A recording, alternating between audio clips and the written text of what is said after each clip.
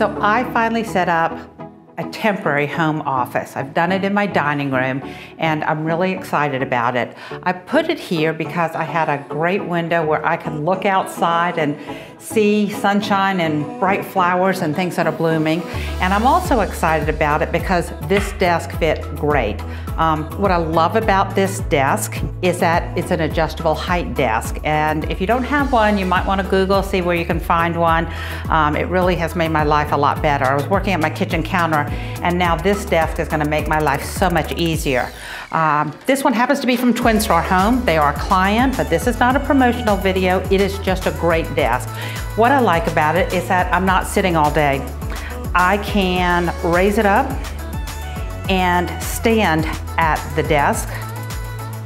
It has a couple of different places where you can put functions in. So for myself and my husband, we can each put it to adjust our height that we want it to be at.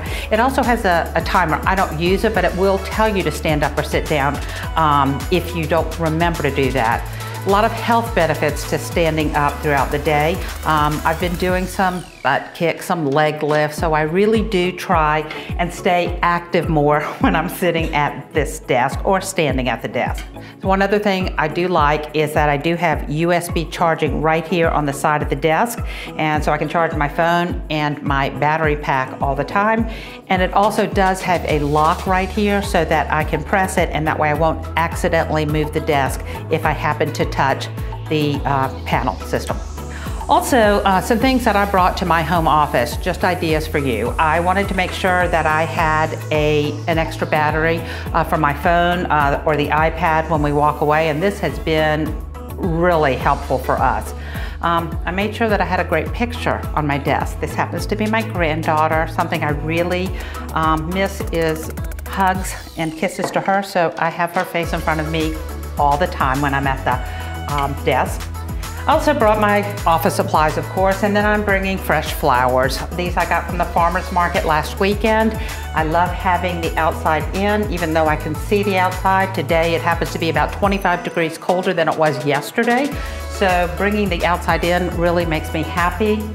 I have my coffee cup that my husband got me um, for Valentine's Day, so be sure and have something fun that's memorable for yourself at your desk. I always have water by my desk and a place that I make notes. One other thing about notes is um, this desk has something, I've done it a couple of times. You, I write notes to my husband when we're changing places that we're working. Oh, and if I get mad, decide not to give it to him, it's great. I just wipe it off. So I happened to find this chair upstairs. So I was lucky to have this contemporary chair go with my contemporary desk in my traditional dining room.